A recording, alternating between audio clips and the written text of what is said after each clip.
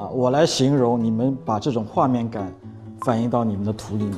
哇，画画可差了。啊好，哎，我们也来画吧。我来参与。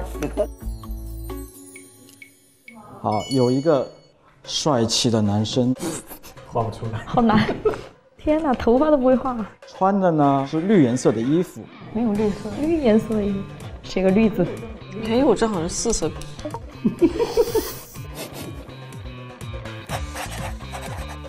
背后呢有一个城堡，男生头上戴了一个安全帽。李晨，这不是李晨这不是我吗？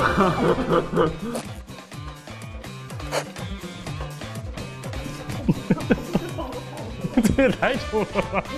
你这很帅气吗？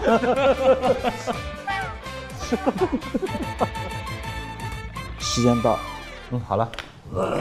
So easy。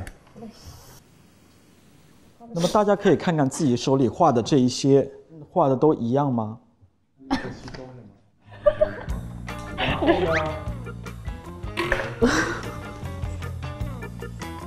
你这个城堡位置不一样，好像。哦，好可爱。实际上是这张照片，哦，对吧？但对于是不是帅气这个，我们不做争议点啊啊。OK，我刚才的语言是一样的，对，为什么你们画的东西都是不一样的自己的理解不一样。？OK，所以说呢，实际上在我们的传达信息的过程当中，会变成一个异化。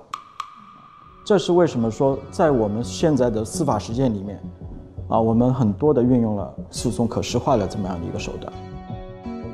我们诉讼可视化使用的目的，首先它是为了要传递有效的信息，对吧？第二个目的是什么？避免对信息产生一种异化。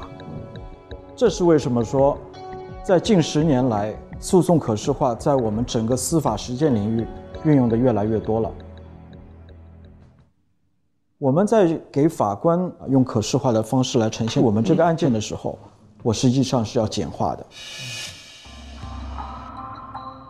非常复杂的文字，法官可能看完以后，他也没有完全能抓住我们的重点。那么这个时候，我们需要给他勾画一幅我们认为需要提请法庭或者仲裁庭了解的事实。基本上，诉讼可视化的整体的一个介绍呢是这样的。